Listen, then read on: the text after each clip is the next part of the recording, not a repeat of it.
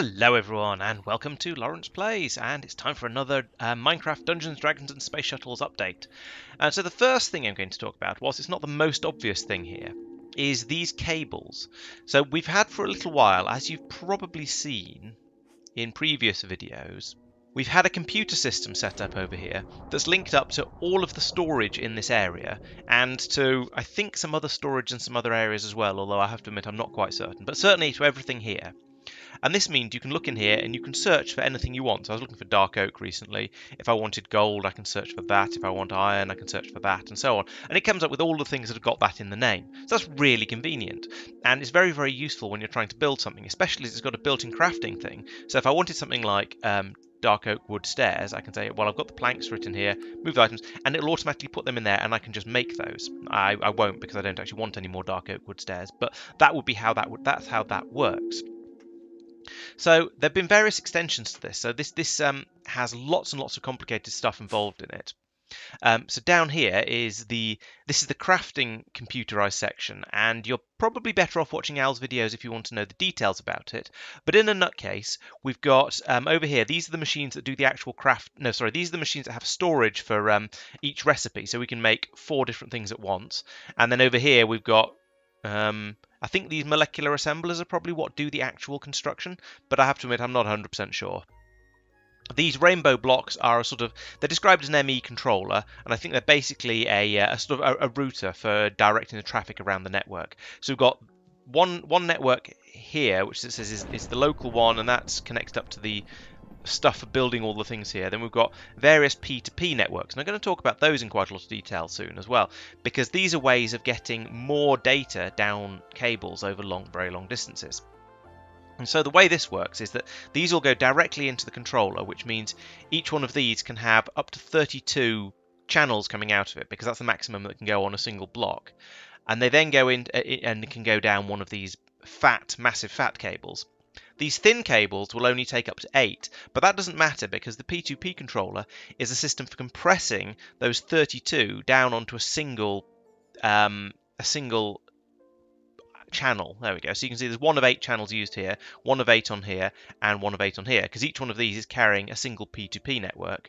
And then we go on to here, and there's three channels being carried, because at this point, all of these have gone together and they're going down the same cable. So we've got all three going down here.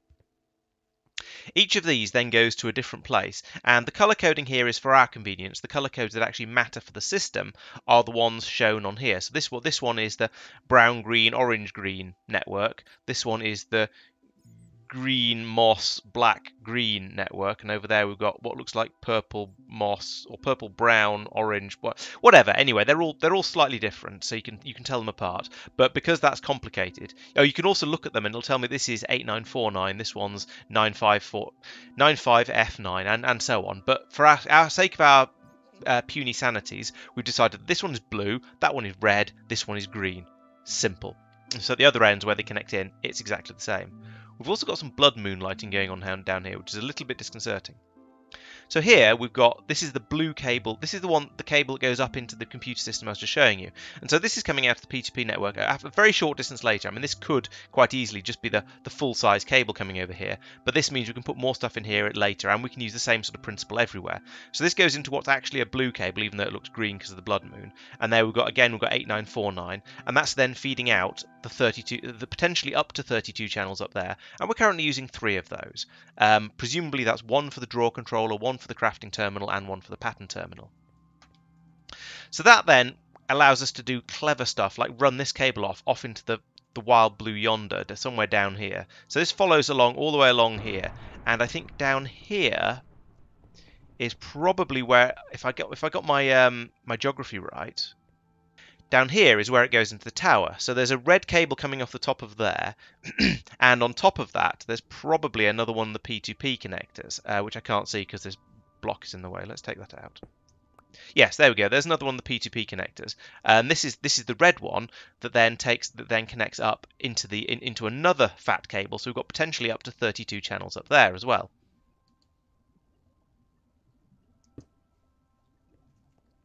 And if from here, if I now go up into the into the tower, this is the same cable. It comes up here, and now links onto this crafting terminal here. So I can now use this again to access everything on the storage network from inside the tower. And this is great because when I'm working on something over here, I don't want to have to run all the way over to the um, to the, to the storage area over there partly because it might be a blood moon like this and therefore extremely dangerous, and also just because it's a long way and I'm quite lazy. So this allows me to pull anything I want out of the crafting system here and just use it for building stuff around here. Now the cable carries on upwards. And upwards and upwards and upwards. And upwards and upwards and upwards. And eventually comes out in the top of the in in the um up here in the in the sort of the white magic crafting area because there's also quite a lot of stuff that goes on up here. We've got a big um, crafting table here. We've got jeweler's workshop, mage's workshop, and so on and so on. So there's lots of crafting can happen up here. So I thought useful to have another terminal up here as well. So I've, I've, so my first big job in this session was to run all the cables for this and get everything working, which was mostly not too bad. I did have some help from Tristan for some of the more complicated bits, but um, essentially it's now all it's now all up and working and generally happy. In a similar way, we've run we've run cable out to the personal crafting area as well because again, it's a crafting area. You need lots and lots of stuff, and so the theory is that now you can do everything you want from wherever you are. So in here again, if I wanted if I wanted those um, dark oak stairs I was talking about, um, I could come over here and I could say, "There's my dark oak stairs. I want to make them, and I'll be able to make them here." And so I could come over and I could replace these these um, seared brick stairs with dark oak stairs if I wanted to, absolutely trivially. It'd be nice, really, really easy. So the plan was that this would be really straightforward. It'd make it nice and easy. Would I wouldn't have to do anything like as much running around to go and get things. I am going to have to eat some more food though because I'm about to starve. What have we got here? We've got a, a plain yogurt, yum, and then a pretzel with mustard. Yum indeed. Well, that seems to have... Well, it's given me the well-fed. Okay, I'm reasonably happy with that. Although I'm not quite sure why it's given me well-fed, given that I've still got three blobs of unfedness on there. But anyway, that's uh, getting that's a bit of a, a um, an aside. So yes, the plan was that this would stop me having to run back and forth all over the place to, to do things. However, it turns out half the stuff I want to build these days, because it's more complicated, it turns out half the stuff I wanted, because it's so much more complicated, now has to be made in different machines. So typically it's a carpenter. It can be a carpenter as well. So here we go. I've got these vanadium plates, plastic, enriched alloy, microchips, and so and and also liquid crystalline. So I haven't got a carpenter here. I certainly haven't got all those fluids here. So despite having all, gone to all of the effort to, to, to allow me to not have to run around all over the place, I still have to go over to the personal crafting area, which is being blood mooned at the moment because it's above ground and therefore and therefore scary. I'd have to come over here and go to one of the carpenters. And more than that, I'd have to come over here and identify the liquid I want, which in this case was crystalline, grab the tank, pour some of it into the carpenter, and then I could come in here and I could actually make that um, that particular thing as I wanted. I think this is actually a um, an energy module rather than a speed module. But the point stands that I, whilst we've automated things to an extent, so I don't so I don't for a simple three by three and even five by five recipes, I don't have to leave the comfort of my tower. For anything that requires a carpenter, I still have to. So we're not quite there yet. The other slight downside of this system is if you are doing a 5x5 recipe, like this displacement rune, uh, that isn't a 5x5. Like an iron tank, for, for example, that's a massive recipe. Um, and this can't be built inside the crafting system. You see, there's no plus down here, so you can't import the things across. So you still have to look at this and remember all of the ingredients in it for long enough to go and grab them out of the um, out of the crafting system, put them into your regular inventory, and then go off and use, in this case, the elite crafting table to go and make it. So we get it we've made some progress, but it's still not quite good enough. We still there's still stuff that requires you to run around and remember things, but it is much better than it was before. So I'm definitely yeah, definitely pleased with this. Definitely enjoying using it a, a lot more. It makes things a lot easier. I've also discovered, and this doesn't really show up because of the aforementioned blood moon, but you can actually recolor these crafting terminals. Normally they're purple, but if you put a blue cable on the back of it, then it goes blue. If you put a red cable on the back of it, it goes red, and so on. So I've made these ones blue in here just because that's the color of my tower. And once the blood moon passes, they'll go back to their normal color, and you'll see that they're a, a nice blue, a nice blue shade. So this brings us on to things I've been doing in the tower, and in order to um, so and you'll remember from previous episodes that in order to keep the supply of blood that powers everything going in here, and as you see, these tanks are now completely full, which is nice, I had to go all the way over to the mob farm, which is way off over that way, with some iron tanks, grab and, and then sit around for a little while while enough mobs were killed on the spiky plate things to fill up the tanks. And then I could bring the tanks back, dump them into the um, in, into the uh, collection system over in, in here, into these tanks to keep these full, and then that would then be passed on into the rest of the system. Now, what we've done now is it feels extremely cruel, but it's also extremely effective. Tristan managed to find a zombie with regenerate with the regeneration ability, and that means that each time it gets hurt, in fact, if I if I repel up here and look down on him, you can see it is where is he? There he is. His health is bouncing around between 27 and 28. So as he's getting hurt by the spiky plate, it's going down to 27. Then he's recovering because he's regenerating his health and going back up to 28. And that means this guy, this poor sod down here in this little jail cell, is capable of producing a never-ending supply of blood. And he's producing it faster than we're using it at the moment. So that's why these tanks are now eternally full. We don't need to worry about running out of blood, basically ever. Um, now, okay, in the future we might find faster ways of using it and, and, we'll eventually start to put dents in it. But at the moment, we have an unlimited supply of blood and one that isn't limited, that doesn't require a player to stand around. Because the problem with the blood farm over there, the mob farm, sorry, is that in order to get it to generate mobs in order to generate the blood, you needed to have a player standing nearby because mobs don't spawn in if there isn't a player nearby. So that was why you had to go. You couldn't just leave the tanks over there and go and go back and always find full tanks. You had to sit in there and just twiddle your thumbs while you were waiting for all of the uh, all of the mobs to spawn in and then die. Whereas this guy, because he's already spawned in and we're not spawning in new ones, he's just always there. Even if we're not actually playing the game, even if there's nobody on the server, he will still be there, getting poked by the spiky plates and donating his blood to the cause in here. And that means this never runs out. This is always always full. And that, as you remember from before, I keep saying this, I hope you've watched the uh, pre previous episodes, or this might all seem a little bit random. Uh, no, not that far down. As you remember from before, that's being piped over here into this, into the, these, the, these are the same big blood storage tanks in the bottom of the tower, where it's being piped from the donation building over there. And that is then being purified by this system into, into the life essence, which is what's used by the, uh, the blood altar in the middle. And so this is this pulls in pulls in water, dries it into salt, mixes salt and the water together, and then dries presumably dries that out in here to make um, oh no no doesn't dry it out it, to make sodium hydroxide. Then that's then pumped into here. We mix the sodium hydroxide and the blood, and that produces life essence. now, this machine wasn't remotely fast enough to keep up with the amount of life essence we are using, so I put in a speed upgrade in here.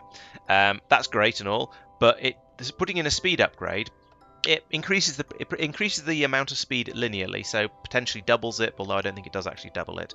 But it also increases the power use quadratically. So if we were doubling the speed, we'd be quadrupling the amount of power used. I can also stick in an energy upgrade, and if I put in one speed upgrade and one energy upgrade, that means that then we're only increasing the speed linearly because these decrease the speed linearly.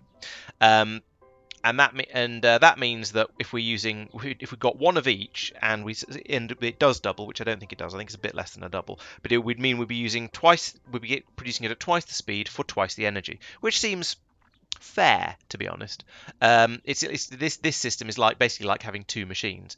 I think putting in further upgrades is going to use a lot, a lot of power. So what I'm probably going to do in the future is extend this to have a row of these machines going off in through through where this wall currently is, and then run this pipe along the bottom so that I can feed in um, energy along the back, blood along the top, uh, sodium hydroxide on the bottom, and, and then pull the um, pull the life essence out of the front. So that's that's a, for, for a later episode, a later stream, is to extend that down further that way and and get the whole system sped up a bit.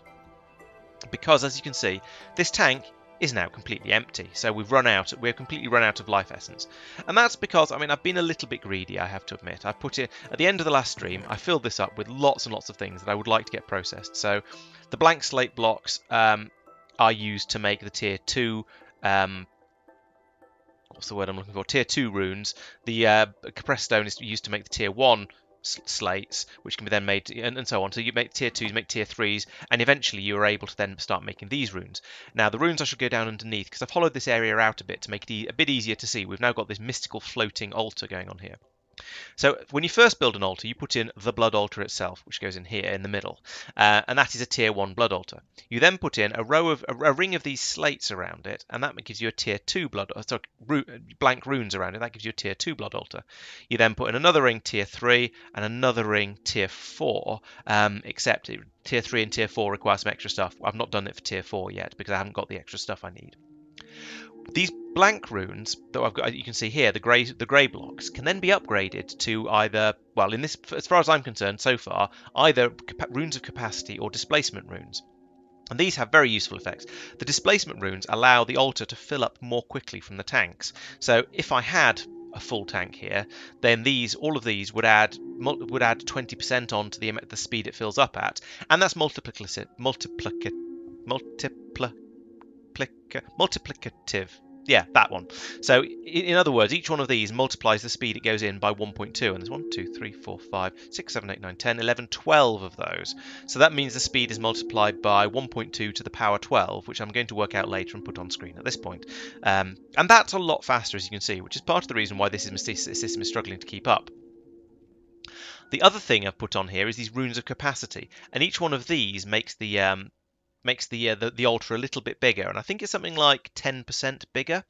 Um, but these are additive, not multiplicative, and that means that the the altar is now 180% of the size it was before. Uh, so if we if we look at this altar with um, if we look at this altar, you can see it's got 21 buckets in it. It goes up to about 25 so it's two and a half times the size maybe these are 20% it's two and a half times the size it was originally anyway um, and that means we're able to do bigger recipes, and in theory, we could do more. Uh, rest that is recipes that require more life essence, and in theory, we could probably chuck a bit more in there. Um, a bit quicker, but it wouldn't really make much of a difference because we're limited by the rate we can produce the life essence at. So you see that's produced a, a, um, a tier two rune, no tier yeah tier two rune, which is now going up here and being uh, to go into into the storage. So yes, the uh, as I say, the limiting factor is, is, is currently the the rate this will fill up. But I don't feel too bad about that because I feel like this means I've got a, a slightly future-proofed um, blood altar, which will go faster once I put more more um, processing for the, for the, to produce the life essence in on the other side. So I'm generally quite happy with this. I've also moved stuff around a little bit. Now, part of this was due to necessity. When I came through and tidied up the floor in here, because this used to be earth, there used to be an incense altar over here. It used to be a bit. It looked. It looked a bit messy. It, not not up to the standards of, uh, of Wizard's Tower that I like to have. So I've come in and cleaned that up.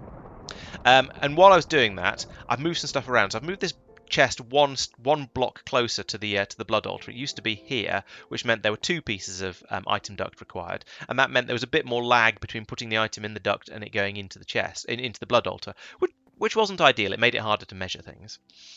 Um, and so uh, that means I've moved around the uh, the redstone on the ground, but it's basically working in the same way. We've got this thing that pings every uh, 14 seconds. This then extends the pulse, uh, but only if there's a decent signal coming around from here. If there is, the pulse gets extended and pushed through from here, and another piece of um, stone gets put through here into into the blood altar to be to be soaked. Uh, there's been a little bit. The uh, I did run into a minor issue with this. This has to be has to have a right angle in it and go in because these the uh, the redstone has to go in at 90 degrees direct straight into the um, into the thing you want to control. If, I, if I'd had this uh, repeater here and I only put one piece of redstone in, it would only have been able to control this one. It wouldn't have been able to control this one. So I've had to, had to move these things around a little bit. But basically, it, it's okay. This all works quite nicely, and I'm uh, generally pretty ha pretty happy with the uh, with the um, with the assembly. I've also now finally eaten enough different things that I gained another heart in the last stream. That was um, mildly interesting, mildly useful, and and uh, yeah, kind of, slightly fun.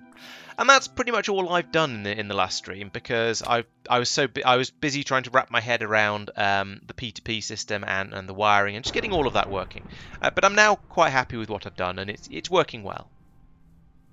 We did have a bit of a mystery on the last stream.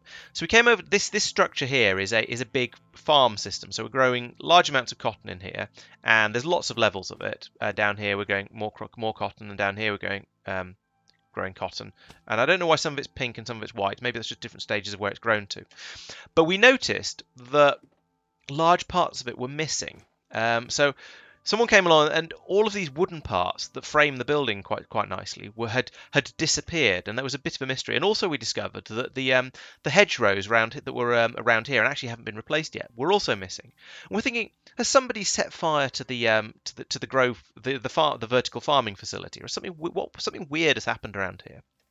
After much investigation and head scratching, we finally worked out that it was because down here somewhere was it this one?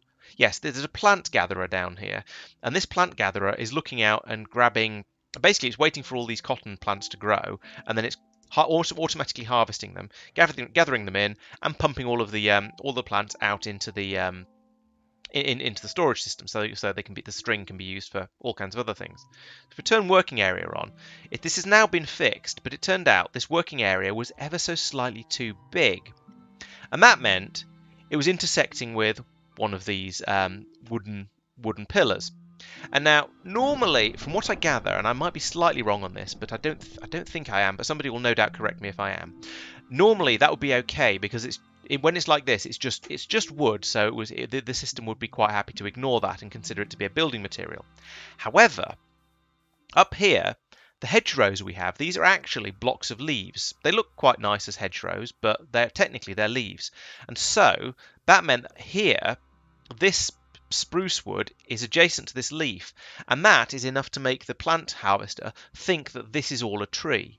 And so what happened was it started at the bottom of the tree, harvested all the way up it, harvested out all the leaf blocks and grabbed picked all of those up and it carried on going up and up and up and up carried on up the what it thought was a trunk and, it, and there, therefore it took out these horizontal beams as well and then carried on upwards and so it ended up with that machine harvesting all of this and spitting out all of the content into back into the storage system so once we solved that problem, and I say we, I didn't. It, this was really nothing to do with me. I was just along follow, following along and listening and going, "Oh yes, that's quite funny." Ha ha ha.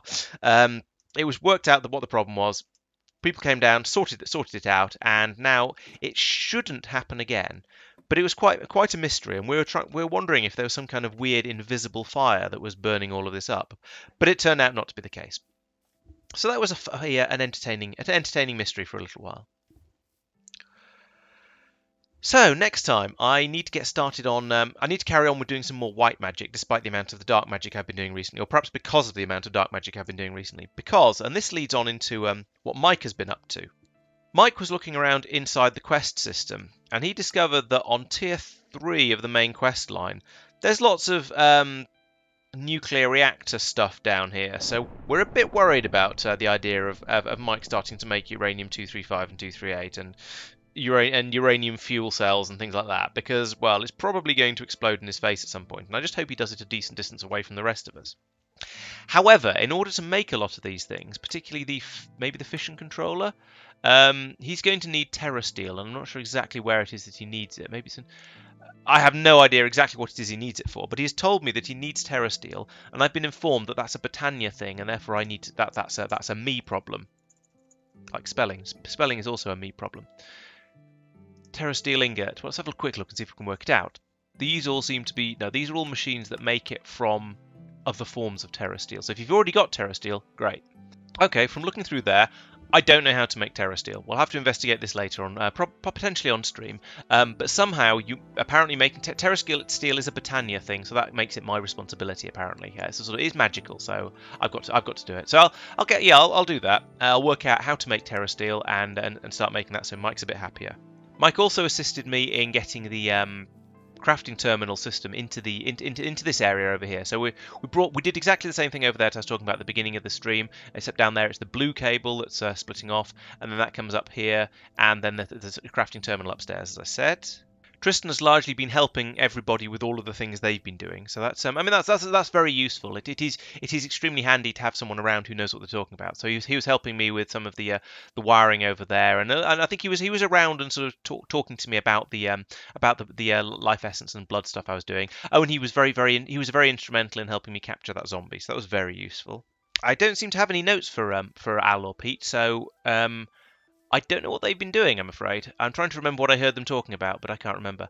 I do know that Peter's upgraded his yacht a bit. Um, well, I say upgraded, he has continued to decorate his yacht a bit. So over here, this is um, Yachts by Pete, so some, uh, uh, the uh, new Minecraft cruise line. And my, my favourite part of this is that when you go in through here, the door makes the noise of the doors from Doom.